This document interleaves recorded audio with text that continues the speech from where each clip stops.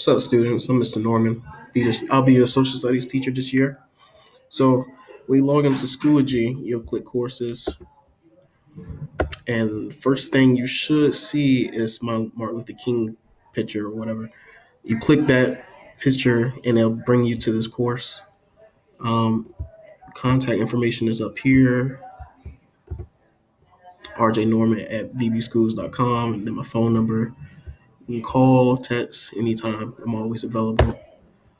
Uh, when it's time for class, you'll just click this link and it'll bring you to the Zoom meeting. Um, when school start, we'll be in room 423. And um, as you'll see, discussion boards. When it's time to do work, all my work will be in the units, including like readings and PowerPoints to help you guys be successful in the class. Um, I'm very lenient. Um, in this class, there'll be no homework.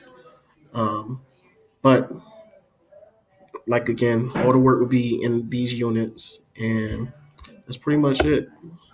Um, this course is pretty easy to navigate, and if you need any help, uh, feel free to either call, text me, or email me. Thank you.